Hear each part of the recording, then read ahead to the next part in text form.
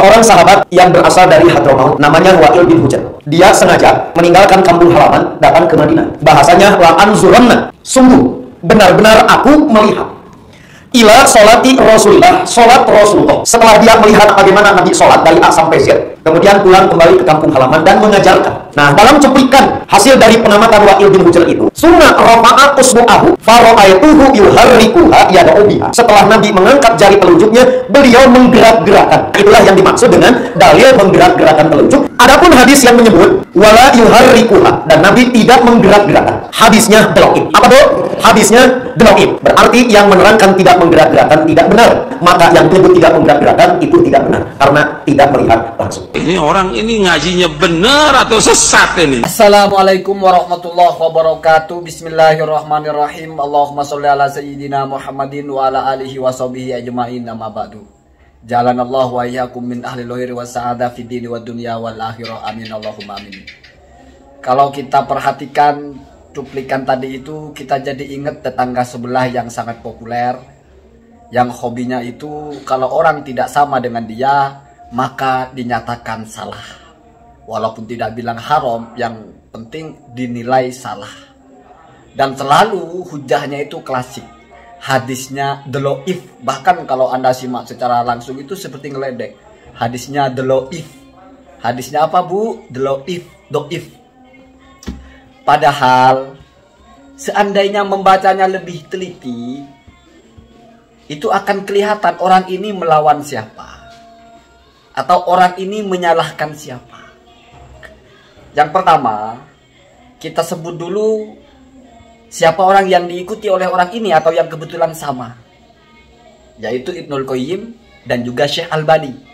Karena hadis yang ada redaksi Nabi tidak menggerak-gerakkan jarinya. Wala yuharrikuha itu adalah hadis yang diriwayatkan dari Ibnu Az-Zubair. Dan kata Syekh Albani, kata Ibnul Qayyim itu tambahannya itu doif Seharusnya tidak ada tambahan Nabi tidak menggerak-gerakkannya. Kalau hadis rentetan bagaimana tasyahud Nabi ya sudah sama. Tetapi ada di tambahan Nabi tidak menggerak-gerakkan. Tambahan itu uh, tambahan yang doif. Ya. Jadi riwayat itu menjadi doif di bagian yang ada tambahannya. Siapa yang mendoifkan? Syekh Al-Bani. Kemudian siapa? Ibnul Qayyim. Padahal orang ini bukan salafi wahabi kayaknya. Lebih ke persis mungkin. Walaupun saya tidak bicara persis secara umum. Saya hanya bicara orang yang masyhur bi annahu min asati di persis. Orang ini pendakwah persis. Orang ini selalu menekankan kalau tasawuf itu yang benar gerak-gerak. Gerak-gerak ya. Bukan bergerak sekali tapi gerak-gerak. Tetapi hujahnya itu dua yang saya lihat. Yang pertama doif, hadisnya yang tidak ada yang ada Nabi tidak menggerak-gerakkan itu doif. Yang kedua, Nabi menggerak-gerakkan itu hadisnya berdasarkan sahabat Wa'il bin Hujar melihat langsung. Jadi lebih kuat. Sementara yang mengatakan tidak gerak-gerak itu tidak melihat langsung. Sekarang masalah doif dulu. Sudah sering saya ulang. Bahwa Imam Nawawi itu dalam kitabnya Al-Majmu' menjelaskan tiga pendapat dalam madhab syafi'iyah. Yang paling benar atau asohi adalah menggerak-gerakkan itu makruh.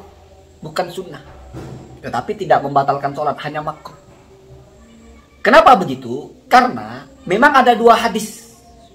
Yang pertama hadis yang dari jalur Zaidah bin Kudama dari Wa'il juga. Jadi hadisnya satu dari Wa'il juga. Wa'il bin Hujar juga. Laporan Wa'il bin Hujar juga. Kan redaksi hadisnya sama, cuma beda ditambahannya. Di situ yang versi jalur Zaidah bin Kudama ada tambahan. Saya melihat Nabi itu, roa itu yuharrikuha menggerak-gerakkan jarinya asababahnya ini satu versi saja dari Zaidah bin Kudama sementara sebelas versi yang lain dari Sufyan bin Uyainah Sufyan As-Sauri dari Syukbah dari Az-Zuhairi dan sebelas ulama ahli hadis itu satu pun tidak ada yang tambahan Nabi menggerak-gerakkan. Imam Nawawi saja walaupun tambahannya cuma satu orang ya, masih memakai prinsip walaupun satu tapi Zaidah bin Kudama ini sikoh. Bahkan Imam Ahmad itu mengatakan al mutasabbituna fil hadis itu ada empat yang disebut ya. Sufyan, terus Syukbah, eh, Zuhairi dan satu lagi disebut itu namanya Zaidah. Jadi dihargai walaupun cuma satu orang yang merilis versi yang berbeda dengan yang lain ada tambahannya itu masih dihargai. Tetap dianggap sahih hadisnya. Makanya kalau ada hidayat mempersoalkan ini ya lucu. Ulama dulu tidak mempersoalkan. Kenapa? Karena yang dipakai itu adalah disiplin ilmu hadis. Ini masuk kepada kajiannya ziyadatus sikoti bilafdin. Seorang sikoh menambah satu lafaz atau beberapa lafaz yang berbeda dengan riwayat yang lain, tapi dia sikoh. Maka kata Ibnu Hajar, kata Imam As-Sunani, yaitu diterima. Kenapa? Karena walaupun dia, karena dia itu sudah sikoh. Sama saja dia membawakan satu hadis, walaupun dia sendiri membawakan satu hadis, kalau sikoh diterima. Apalagi hanya tambahan saja. Nah, walaupun ada beberapa syaratnya. Artinya, tambahan yang hanya berasal satu ini dianggap sahih. Tetapi, ya, Imam Nawawi mengatakan bahwasanya uh, hadis yang Nabi menggerak-gerakkan itu sahih, tidak lalu pendapatnya dalam madhab syafi'i sunnah menggerak-gerakkan. Kenapa? Karena ada hadis lain dari Ibnu Zubair yang mana ini juga disohihkan. Imam Nawawi mengatakan itu sahih. Bahkan sebelumnya Imam Al-Baihaqi juga mengatakan itu sahih. Artinya ada dua hadis sahih yang bertentangan. Satunya menggerak-gerakkan, satunya tidak. Maka Imam Al-Baihaqi dan ini yang diikuti dalam madhab syafi'i ihtimal yang menggerak-gerakkan itu maksudnya bukan menggerak-gerakkan ai tahrikuha indal isyarah birraf'i ketika memberi isyarah dengan mengangkat jari itulah namanya menggerakkan. La tikroro at-tahriki bukan menggerak-gerakkan. Wahada muwafiqun li hadis Ibnu Zubair. Kalau begini maka sesuai dengan hadisnya Ibnu Zubair. Jadi itu namanya al-jam'u. Al-jam'u muqaddamun alal ihmal. Dua hadis diamalkan itu lebih utama daripada kamu buang salah satunya. Kenapa? Karena dua hadis ini statusnya sama. Tidak ada ulama yang mengatakan Ibnu Zubair tidak melihat langsung, Wa'il melihat langsung. Karena kalau mau ngomong masalah itu, Wa'il melihat langsung, versi Wa'il pun ada dua versi. Satu yang ada tambahannya Nabi menggerakkan, dan itu hanya satu jalurnya. Sebelas Nabi tidak menggerakkan. Coba ini diangkat kalau berani. Kalau berani. Karena itu kalau mau diserang empuknya di situ. Kok ada satu orang ada tambahannya. Tetapi jangan lalu ngomong. Oh karena satu ditolak. Enggak. Di situ yang dibahas. Kalau memang mau buka-bukaan secara keilmuan. Kalau tidak, pakai teorinya Al-Qurtubi ketika merilis ucapannya Ibnu Hajar, uh, Ibnu Al Ibnu Abdul Bar. Walakinnahum ikhtalafu fi tahriki as-sababah. Jadi kalau masalah proses bagaimana caranya Nabi tasahudnya naruh tangannya yang satunya terbuka, jarinya yang satunya menggenggam, ya. yang kiri terbuka, yang kanan menggenggam, itu dianggap mujma. Saya tidak menemukan ada ikhtilaf. Walakinnahum ikhtalafu fi tahriki as-sababah. Itu ucapannya Ibn Abdul Bar ya. Yang di, dinukil diulang lagi oleh Imam Al-Qurtubi dalam tafsirnya. Ya. Apa kata Imam Ibn Abdul Bar? Dua-duanya itu mubahun. Karena dua-duanya itu min atharin sihahin karena dua-duanya dari hadis yang sahih.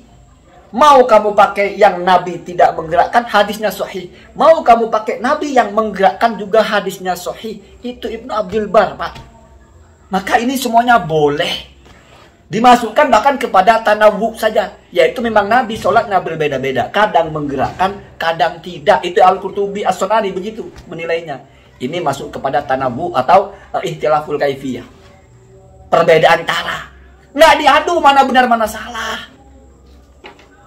Itu sudah yang paling insaf ya. Ambil jalan tengah.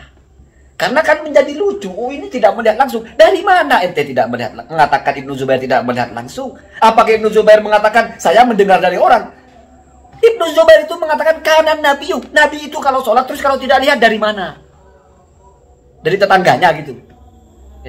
Berani begitu ya. Kok bisa berani mengatakan kalau Ibnu Zubair tidak melihat langsung, kalau Wa'il melihat langsung? Hanya karena kalau Wa'il ini ada ucapannya la anduronna. Apakah sesuatu yang tidak diucapkan berarti tidak ada? Artinya kalau saya tidak mengatakan saya tidak melihat Nabi berarti saya tidak melihat Nabi. Kan bisa saja. Satu sisi dia pernah melihat Nabi, lalu dia mengatakan Nabi itu kalau sholat begini. Terus mungkin nggak kalau saya tidak tahu terus saya ngarang? Artinya apa substansi melihat itu? Kan tahu pasti. Baru saya mengucapkan. Kecuali dia pikir sahabat ini asal simpang siur tidak pernah lihat Nabi sholat terus dia ngomong Nabi kalau sholat begini. Jelek sekali perasaannya ya. Jadi hujah bahwasanya kalau ini melihat langsung hadisnya kalau ini tidak itu hujah aneh ya. ah aneh. Ulama berdebat tentang ini satu pun tidak ada yang bicara begitu. Apa mereka nggak sampai pikirannya gitu atau mereka mereka memikir itu sampah itu apaan? Dari mana kita memastikan ini melihat langsung terus yang tidak mengucapkan melihat langsung terus tidak melihat langsung. Terus ini yang mau dikuat-kuatkan sebagai hujah. Kalau yang doif hadis yang melarang gerakan itu adalah hadis riwayat Ibnu Umar karena ada jalur al-wakidi itu disebut oleh Imam Nawawi. Kenapa dalam madhab syafi'iyah itu tidak eh, ada pendapat yang mengatakan itu haram dan membatalkan sholat itu di, dianggap pendapat yang syad ya jadi syafi'i kan ada tiga. Sunnah menggerak-gerakkan ada. Tidak sunnah menggerak-gerakkan tapi hanya makruh tidak batal. Yang ketiga haram menggerak-gerakkan dan batal sholatnya pendapat ini ditolak karena hadis yang mencegah atau melarang menggerak-gerakkan itu hadisnya doif didoifkan oleh Imam Al-Baihaqi Imam Al-Baihaqi tidak mengatakan doif tetapi hanya mengatakan tafarrada fihi al-wakidi dalam hadis itu ada orang namanya wakidi satu orang jadi ini satu jalur saja al-wakidi di mana al-wakidi itu la yasihu tafarruduhu belum layak untuk menjadi untuk dia membawakan hadis seorang diri. Harus ada compare hadis-hadis yang lain yang sama. Kalau dia infirad maka tidak dipakai hadisnya doif. Maka kata Imam Nawawi, Al-Baihaqi mengatakan itu doif. Dalam kitab Al-Baihaqi itu ditahkiknya memang Al-Baihaqi dalam bab lain mengatakan hadis ini do doif, yaitu hadisnya bahwasanya gerak-gerak tangan itu tempat masuknya setan. Itu hadisnya doif. Dan kita tidak menggerak-gerakkan tangan bukan karena menggunakan hadis itu. Tapi satu karena menggunakan hadis uh, Ibnu Zubair dan sudah digabung dengan hadisnya Wa'il bin Hujr. Kalau saya juga mau akal-akalan berarti kan ada satu versi Nabi tidak menggerakkan tangan. Yaitu dari Ibnu Zubair. Ada satu versi Nabi menggerakkan tangan. Yaitu dari Wa'il bin Hujr, jalur Zaidah bin Kudama. Ada 11 hadis Nabi tidak menjelaskan menggerakkan tangan atau tidak. Berarti dari tiga varian ini, cuma satu yang isinya Nabi menggerak-gerakkan tangan. Sementara yang satu melawan hadis itu, yang sebelas di tengah-tengah. Kamu pilih mana? Kalau mau main akal-akalan, tapi untuk apa saya berhujah begitu? Toh ulama sudah membangun, membahas bahwa walaupun uh, Zaidah ini menyendiri dalam menambah lafaz itu, artinya nggak ada jalur lain, tetap diterima karena masuk kepada ziyadatu asikot. Kita terima. Tetapi kalau kita terima seperti itu juga kita terima bagaimana ulama yang mengatakan ya sudah kalau begitu tanawung saja. Perbedaan saja kamu mau gerak-gerak silahkan. Itu juga dari asar yang sohih. Tidak gerak-gerak pun silahkan. Itu juga asar yang sohih. Itu pak ya. Allahumma dina Assalamualaikum warahmatullahi wabarakatuh.